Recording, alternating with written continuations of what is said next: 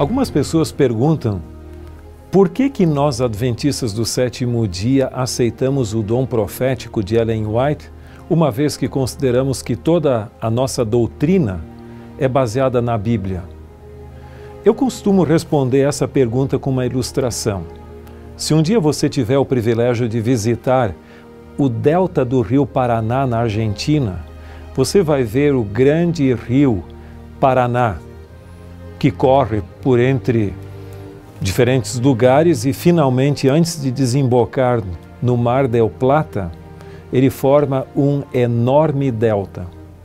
Pesquisando um pouquinho sobre esse delta, eu soube que ele tem 300 quilômetros de extensão e, dependendo da região, a parte mais larga chega a 80 quilômetros.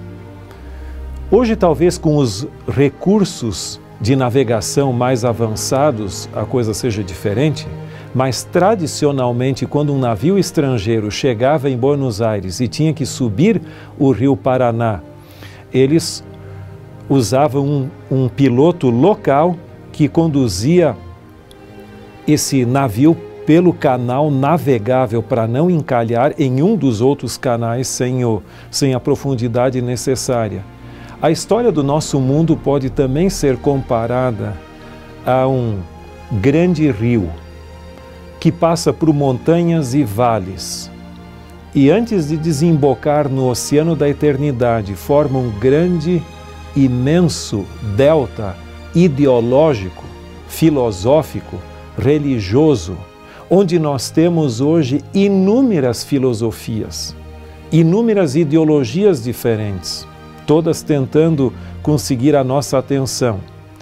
Estudos têm demonstrado que hoje no mundo existem cerca de 45 mil denominações cristãs diferentes e todas elas alegam estar baseadas na Bíblia.